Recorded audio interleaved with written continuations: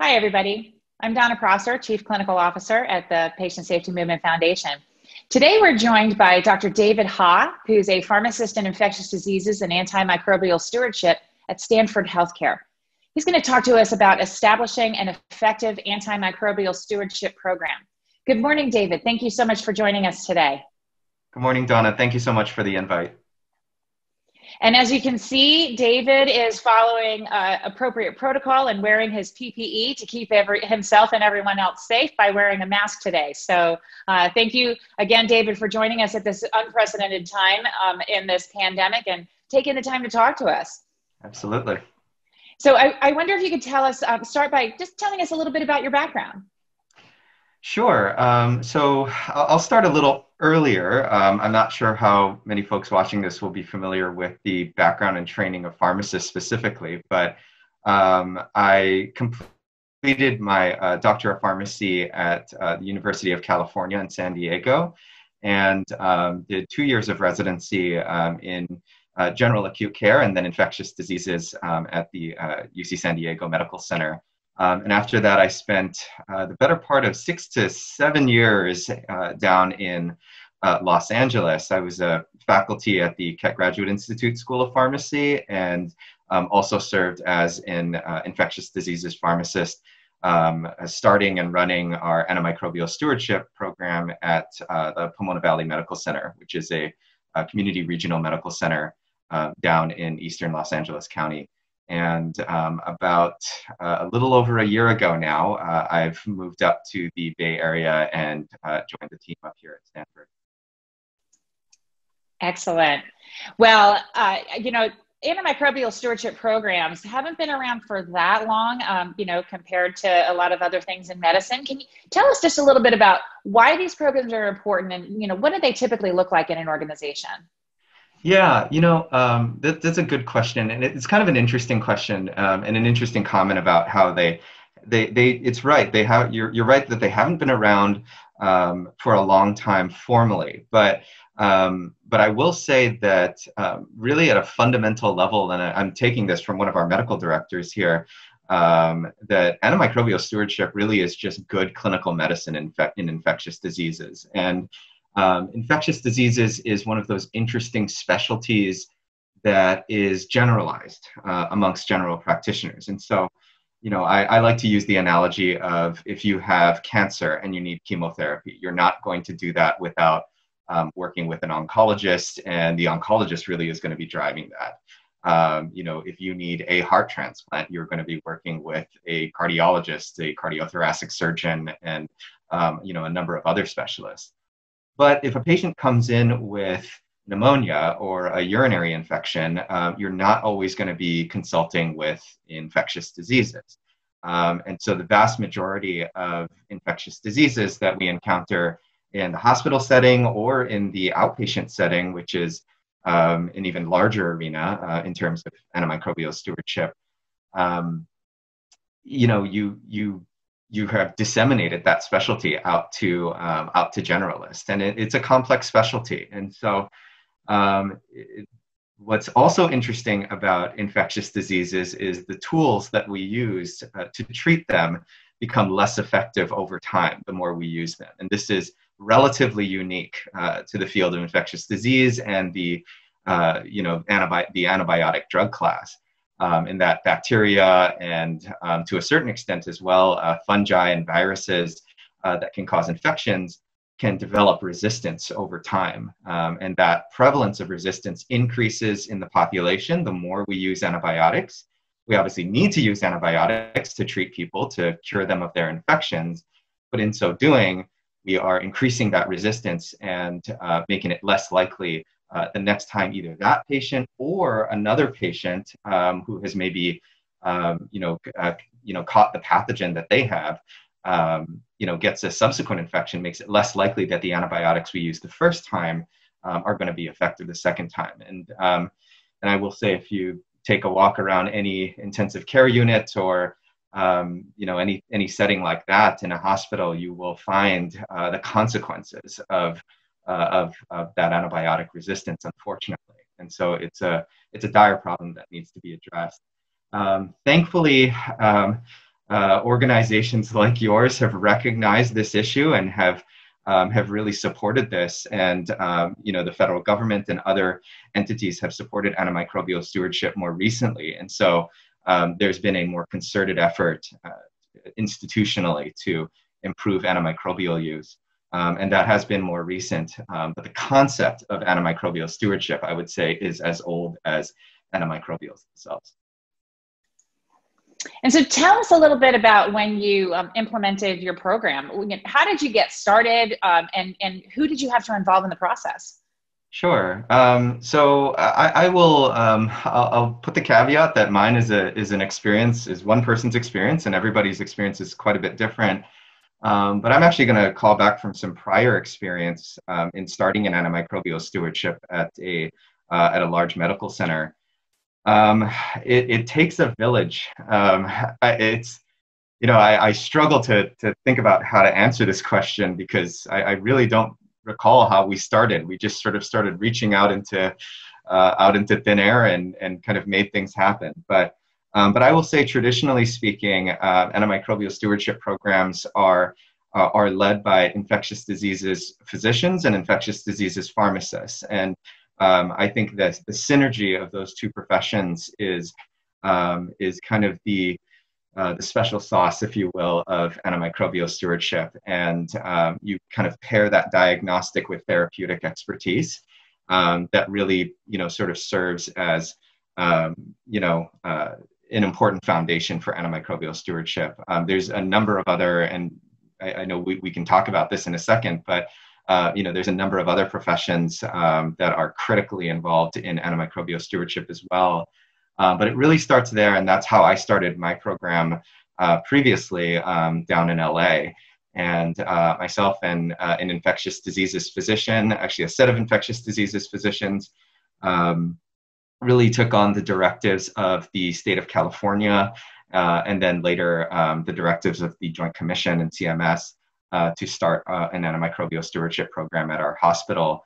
And um, you know, we, I think, I think really where where we started was getting an idea of where we were. Um, we didn't know what to do if we, you know, didn't know where we were and where we were sitting and where we wanted to go, um, and where we were in relation to that. Um, so we spent a lot of time in data collection initially, um, looking at our antimicrobial use, doing a number of use evaluations, uh, syndromic use evaluations like you know how are we how are we doing in terms of our treatment of uh, urinary infections? How are we doing in our treatment of uh, pneumonia? What does our res- what do our resistance patterns look like relative to the types of antimicrobials that we were, we were using? Um, are we using drugs that are way too you know big and broad spectrum when we could be using much more narrow uh, spectrum antibiotics to save some of those broad spectrum antibiotics for um, the times that we actually need them.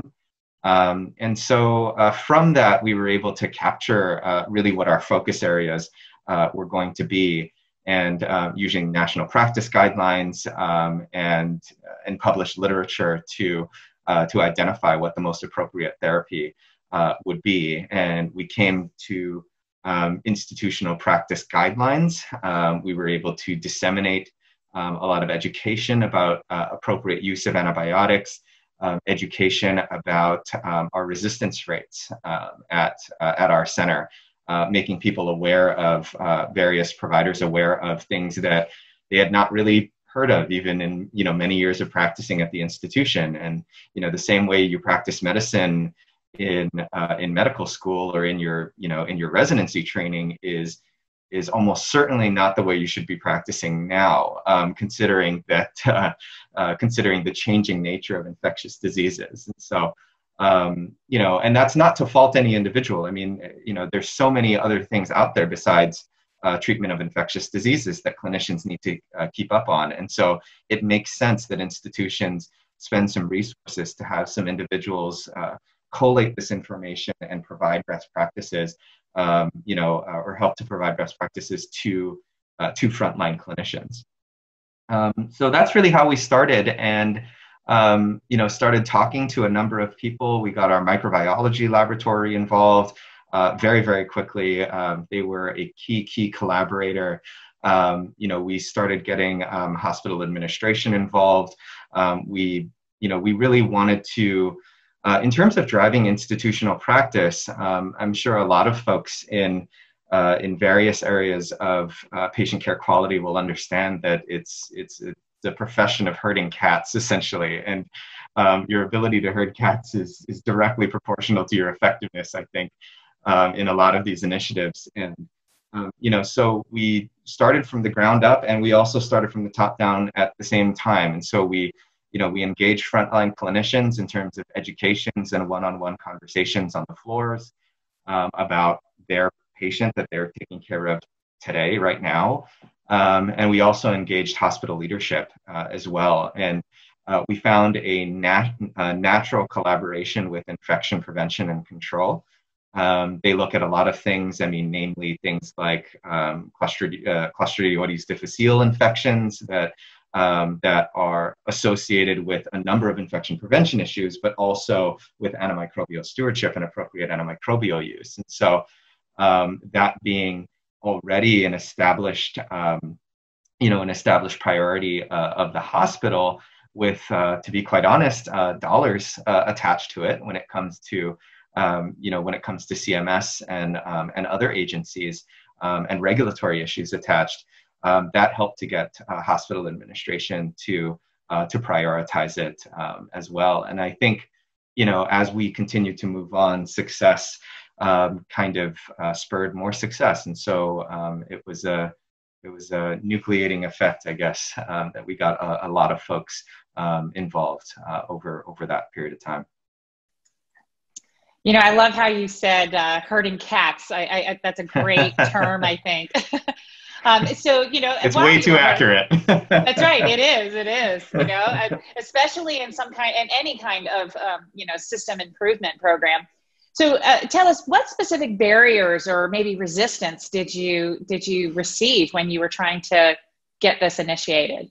Yeah. Um, you know, I think that there's always you know anyone who's in antimicrobial stewardship anyone who's in a lot of uh, areas of, of, of, quality and quality improvement um, will will kind of speak to you know will kind of speak to the the folks that are resistant to change as um, as a barrier. And um, you know there was I, I will say that um, at my former institution we had an excellent uh, set of leadership. And so we didn't thankfully did not run into very many barriers uh, from a leadership level. But um, I think from a frontline frontline clinician uh, level, uh, I will say for the vast majority of the time, uh, folks were uh, very collaborative and willing to um, you know willing to you know have conversations and um, actively try to improve their practice. Um, but i think for some because the, this idea that um, you have an external entity trying to come in and influence your practice um, there can be some resistance there that you have um, you know you have a lot of uh, you've obviously spent a lot of time cultivating your practice. You've put a lot of thought into it um, and to be quite honest, I mean, sometimes we just don't know what we don't know. And so, um, you know, if you don't realize that what you're doing might be um, inappropriate or you're not seeing the downstream consequences um, of, of, of, the things that happened as a result of what you did, because that patient is now, um, you know, suffering the consequences outside of, you know, outside of your immediate field of view.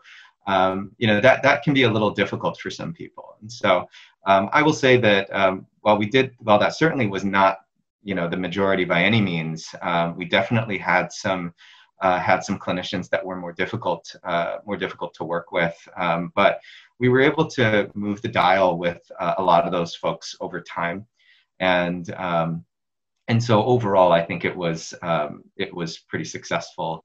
Um, and I will say, I mean, as you as you can see here, the the other elephant in the room more recently has been um, has been COVID nineteen, and um, you know, COVID. You know, you, you can kind of extend some of the lessons that we've learned here. Um, I mean, it's definitely a lot more dramatic than anything that we've you know experienced in the recent past, but um, you know, you can extend it to other things like, uh, you know, to H1N1 and um, and, and other potential things, you know, anything that, you know, lies in the future. We just don't really know. Um, and, you know, being, uh, being in infectious diseases, um, we obviously have to, um, you know, we have all had to step up. I mean, you know, really everyone uh, in, in the healthcare industry has had to step up um, you know, to this pandemic and um, do all these extra things related to COVID, uh, you know, in terms of managing therapeutics. And um, now we're, you know, sort of in the process of delivering vaccine and, um, you know, and other things. Uh, stepping up to do these things while also maintaining the quality of work that you were doing before. And so that that is, um, you know, I will say that's an additional challenge.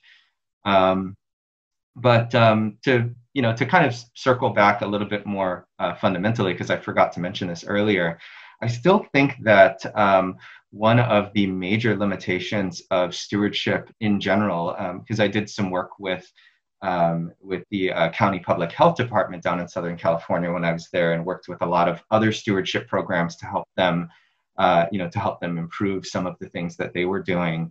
And, you know, I will say that the number one complaint um, that we've heard from folks is that they just don't have sufficient time to do what they need to do. And, you know, that's an, I, I know that's an easy thing for everyone to say, you know, I wish I had more time. I wish we had more staff um, but but I will say that you know there there have been you know there have been a number of studies now that have uh, you know have tried to look at what the optimal you know optimal number of um, you know uh, you know full-time equivalent staff whether it's pharmacists or id physicians microbiologists uh, you know infection preventionists whomever uh, depending on the structure of the institution uh, that you need to successfully engage in antimicrobial stewardship. Oh, and information technology as well is, is very important, um, you know, to have dedicated support. Um, you know, to be quite honest, most, most hospitals have taken on antimicrobial stewardship on top of other things that folks were doing. And so um, I think a lot of institutions have, um, have dedicated stewardship uh, personnel now, which is great. Um, but I think we are, you know, we're far from goal in terms of, uh, you know, the numbers of those individuals that are needed. I mean, if you're, you know, if you're sitting in a 650 bed hospital and you're a single person trying to uh, improve antimicrobial use um, for, you know, hundreds and hundreds of prescribers, um, you know, in a, in a complex and diverse patient population, I think that's this just not realistic. And, um, you know, um, I think that uh, that you know regulatory agencies should as well look at um, what type, and I know they are to a degree, um, but I guess I would continue to advocate that they look at um, you know what type of uh, you know uh, human resource support is being given to um, antimicrobial stewardship programs and the diversity of uh, of that support. That's an excellent point. So, what have your outcomes been, and and how did you sustain the program? Yeah. Um, so you know, I think that uh, outcomes is an interesting is an interesting thing in antimicrobial stewardship. I, I think that um, for I always relate things, um, you know, to uh, some some other outcomes that we look at in infection prevention, like um, like C. difficile or you know uh, catheter associated urinary infections, where we're trying to get down to as close to zero as possible. Um, with antibiotics, it's quite a bit different. And um, you know, zero antibiotic use would obviously be not what we want. um, I think the tendency um, in the absence of formal stewardship programs of, of clinicians is to overprescribe because they, you know, it's it's about the taking care of the individual now versus the you know larger population and that's a it's a challenging thing to think about for for really anybody um, and so the you know the typical outcome initial outcome at least of a stewardship program is to reduce antimicrobial use um, but i think that um, and that's certainly what you know uh, uh, what we've seen but you know i think the the challenge is really trying to get to a level of optimal antimicrobial use. And that is a much, much harder thing to measure um, because there are so many factors uh, that go into the choice of an antimicrobial, even simple things like allergies or um, you know uh, other types of potential side effects that uh, a drug may have that uh, to a particular patient that may make another drug um, more optimal, um, even if it is maybe less optimal from a you know broader narrow spectrum perspective. And without reviewing every single patient in the hospital um, in detail um, it is hard to get to what that appropriate number is Um, but um, you know, suffice it suffice it to say, I think that um, you know we're getting more and more sophisticated metrics um, over time. Uh, the CDC has made a lot of movements to um, to to capture antimicrobial use uh, between hospitals, um, and also uh, try to get some semblance of uh, of a benchmark um, for for various hospitals, um, and that of course the goal is not zero, um, but perhaps the goal is to look similar to other institutions that look similar to you. All the caveats, you know, notwithstanding, of course. Um, and so, you know, I think that, um, you know, you ask about sustainability, and that's a really important question. Um, you know, I think that what's what's challenging about stewardship is that it's always changing right? So the or the appropriate you know the appropriate use of antibiotics or the definition of appropriate use is always changing and it will be different next year than it is this year. Um, and how do you herd all your cats and make sure that they're you know they're they're there when um, you know when those practice guidelines change or um, you know when more evidence suggests that you know this type of practice is you know more optimal than this type of practice. And um, and that's a that's a tough one. And it means that you need continued involvement from your uh, from your antimicrobial stewards like myself and others um, to kind of keep this moving because it is a naturally moving target. Um, but the other thing is you don't want in my opinion you don't want your antimicrobial stewards to be doing the same thing today that they were doing five years ago. Um, and I, am a huge, huge fan of decentralizing antimicrobial stewardship, and that um, there's no way that um, that I or even ten of me um, could look at all the patients in my hospital in a day and provide recommendations on appropriate antimicrobial therapy. It's just not. It's just not realistic. Um, it's not sustainable, and it's not reasonable because you, um, with appropriate education, with appropriate partnerships, um, you can empower frontline clinicians to make those, um, you know, to help to make those assessments, uh, make those decisions, educating physicians, educating pharmacists, um, educating microbiologists, educating nurses. Uh, I think nurses are a huge untapped uh, force in, in antimicrobial stewardship. And um, we, we haven't even hit the tip of the ice. We haven't even found the iceberg yet in terms of, uh, you know, in terms of engaging nurses. And um, and I think um, you know there, there's there's a lot to be said a, a, about um, you know the the efforts of you know what is it? One percent of hundred people's efforts versus hundred percent of one person's efforts, um, and in trying to uh, in trying to disseminate that knowledge um, and disseminate the activity of antimicrobial stewardship because again it's really it's really just good clinical medicine. And so um, you know, we're, we're really trying to help to support people to practice good clinical medicine. And so um, I think if you can, you can push the culture of uh, your institution um, to be sort of a continued learning, you know, a learning model, um, and that naturally we will change. Um, the way that I prescribe today will not be the way that I prescribe in two years. I know that, and I'm expecting that. Um, that is certainly not the narrative um, that has existed in the past. Um, um, it's really been more so that this is how I treated a urinary infection back in 1976, and so that's how I'm going to treat it today. Um, and so I think I think those types of efforts are are really important. Uh, it's it's hard to be specific in that regard, but I think that um, but that is probably one of the most valuable things that uh, that an antimicrobial stewardship uh, program can do.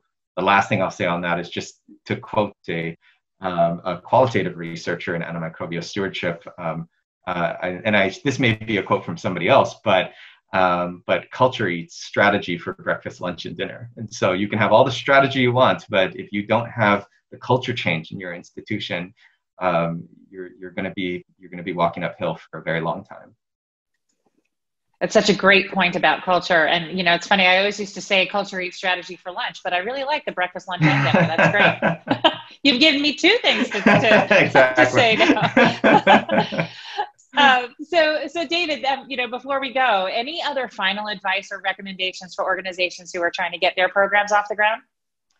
You know, I, I would say that um, uh, just just keep at it and and and make partners. Um, you know the the the interesting thing about stewardship is it, it's it's very rewarding and it can be very taxing at the same time. And I'm sure this will you know this will resonate with a lot of folks um, who are in any sort of quality improvement initiative. Um, that you know if you spend all day herding cats, I mean it's hard to uh, it's it's it's really hard.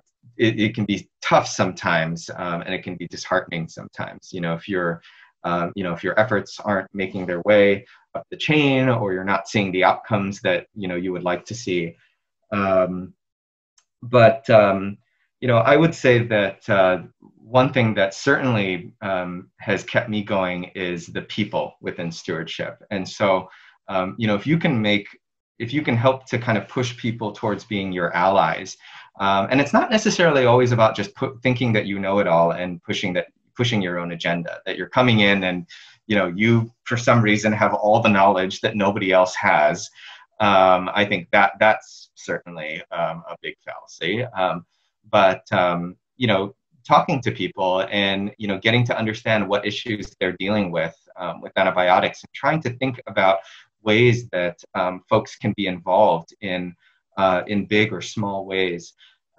is you know is is really helpful, and it kind of it, it really humanizes that um, antimicrobial stewardship approach and, and, and does start to um, change your culture or improve your culture. Um, and, and, you know, every institution can stand uh, to, to improve its culture in, in lots of ways, uh, uh, particularly with regard to um, embracing change um, um, and, and, and embracing fluidity in terms of what they do and um, yeah so um, so that that's probably that's probably what i would say. Um, you know get lots of folks involved make lots of make lots of friends uh, try to make as little enemies as possible um, and you know get folks on you know get folks on your side. And, and a lot of times that means getting on you know get, getting on everyone else's team you know trying to help with other initiatives that uh, maybe relate to uh, some of the things that you're doing you know, some of the things that come to mind certainly would be, like I mentioned, infection prevention efforts. Um, anything that's going on in the microbiology laboratory um, is going to be very, uh, very important. Um, you know, certainly making pharmacy um, your allies because a lot of institutions will have pharmacists that are, you know, kind of zoned in on the drugs, um, antibiotics being one of the many, um, and you know, getting them to, you know, to recognize um, patterns of maybe suboptimal use and you know making recommendations right there um, on their primary services. Um, I, I, keep saying this over and over again but i think nurses really are are, are, are extremely important. Um, they are the you know they are truly the last line of defense when it comes to administering antibiotics and they're the first line of defense when it comes to recognizing um, any adverse drug reactions and any uh, maybe suboptimal outcomes. Um, perhaps the antibiotic we're using is not working to treat the infection. Uh, the nurse is going to be the first one to know about that, uh, not the physician, not the pharmacist. So, um, you know, uh, can we, you know, can we provide our nurses with more training and things, uh, you know, specific things to be, uh, you know, to be looking out for? Um, can we make nurses more critical assessors of antimicrobial therapy um, to capture more? Of the relevant information um, up front, like like drug allergies. Uh, I can't tell you how many times I've I've uh, looked at a chart and it just says allergy to penicillin unknown or the patient vomited or something like that. Uh, and um, you know, and that leads somebody to prescribe something different down the line. Kind of you know bringing that full circle and having people recognize um, you know the you know maybe unexpected consequences of some of the things that might happen um, as a result of uh, you know some of the things that they cannot even realize that they had done um, initially. And so, um, yeah, I think making making a lot of friends, making a lot of allies, getting a lot of folks on your team um, as much as possible, um, and really trying to um, invest your pro, uh, you know, their initiatives into your outcomes and and and your initiatives into theirs. I think really helps to um, again, you know, improve that culture and um, really drive uh, drive lasting change. Wow. Well, David, this has been so incredibly helpful. We really, really appreciate your time. And um, we will let you get back to fighting the pandemic there on the front lines. And thank, thank you. you again so much for joining us. Thank you so much, Donna. Have a great day. You too.